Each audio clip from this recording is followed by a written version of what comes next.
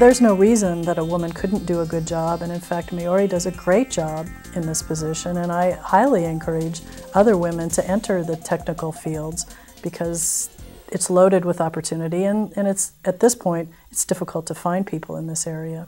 You're selling for these companies that really expect you to do something for them. That's why they hired you to be their salesperson. And if you don't do it, if you don't crack those accounts that they want you to crack, you're failing. So that my biggest challenge would be to continue to develop accounts and grow my territory and how do you do that? I think at least 50% of the engineers you see nowadays are women. There's a lot of women in semiconductor industry. My background is semiconductor industry, so whenever I come from, there was lots and lots of women. So for me, um, it's just the norm. Affinity has an opening for the engineering technician, and that role required a background with the electronic knowledge.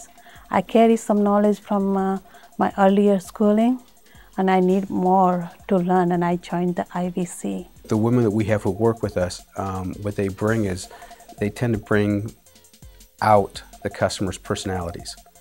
Um, a man to a man, they'll be more basic. A woman to a man sometimes gets more out of the man because um, just being a woman, she can pull a little more out of them, and therefore they respond better. There's more of a personal relationship, and then the business relationship grows faster.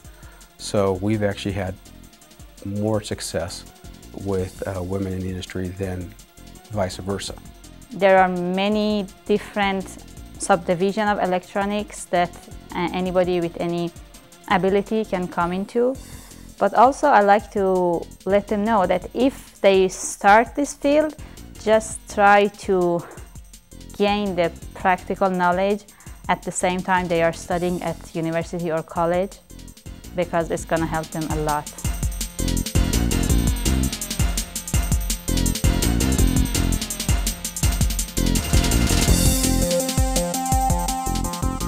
Zora works for um, me as a technician. She also helps out in the manufacturing department. And uh, she's a bright young lady, and she joined us about six to eight months ago. And um, she came right out of school. So it's kind of difficult, can be daunting when you jump into the industry. So she's coming up to speed quite fast, and we're very proud of her. I take care of the failures in the boards before we ship them to the customers. So if there is something wrong with the boards or with the testers or programmers, I take care of those. Also, if we need to make any new tester or programmer, I help the engineering department with that. I think electronics is very exciting. Since I was very young, I liked electronics and I liked to be able to control many different things just with the design you have.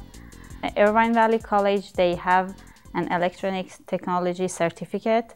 They study a little bit about the circuits and then semiconductors and analog and digital electronics. Also, they have some courses in microprocessors and microcontrollers. I do enjoy any aspects of electronics and I enjoy the logics behind it. I think we have a very friendly environment and I enjoy that the most.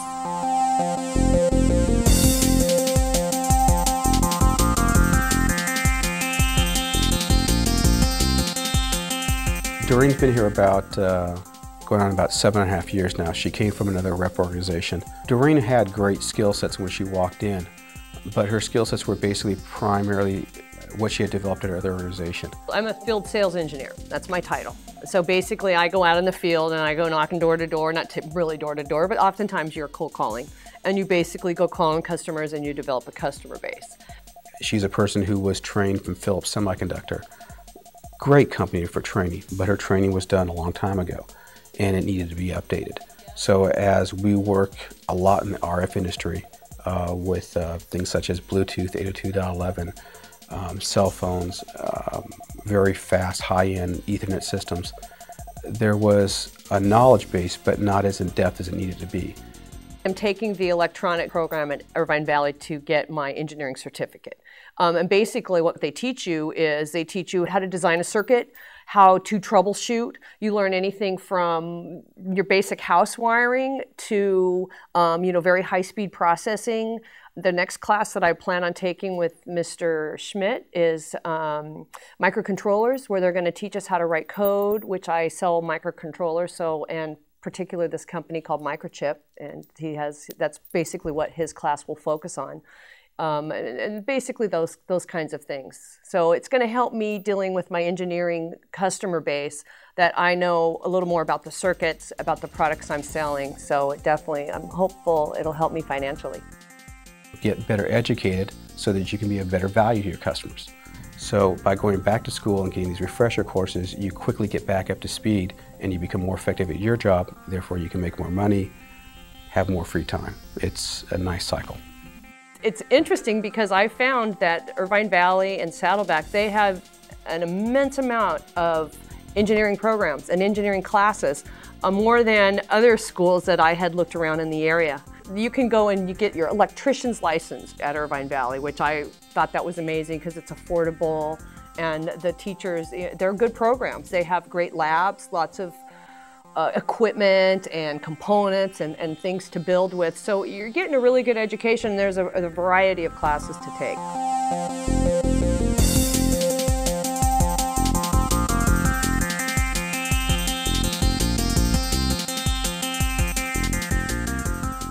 I work as an engineering technician. I work closely with the customers department, uh, purchasing department, uh, manufacture, production, uh, inspection, quality, and engineering lab we have it. So I design uh, in a SolidWorks. She started in manufacturing as a technician, doing soldering and crimping, and then uh, we quickly promoted her into the inspection side. And uh, after working in the inspection and quality department for a few years, um, it became obvious that she needed more. So we presented her with an opportunity to join the engineering team, but her first requirement was to take a technical class in technical drafting. Oh, I did study IVC first is uh, AutoCAD, and I was promoted at engineering assistant here at Affinity.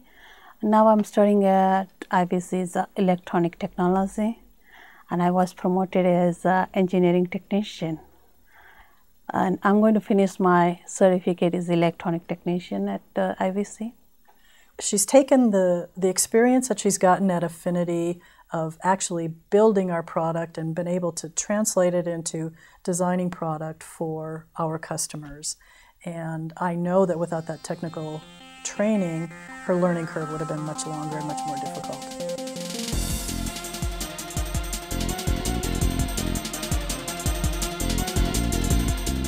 In our electronics program, there are four main things that we stress. One is how to analyze a circuit. Another one is how to design a circuit, knowing the behavior and characteristics of a given component or a circuit. And the third one is being able to test and do measurements. And the fourth one is to troubleshoot. And troubleshooting basically is to use test and measurement equipment to test the circuit and isolate maybe a failure or a malfunction and make a repair. We've had a very difficult time finding technical people, and we have since we started the business 11 years ago. I can't imagine that somebody that got an education in this area wouldn't be able to find a really excellent job.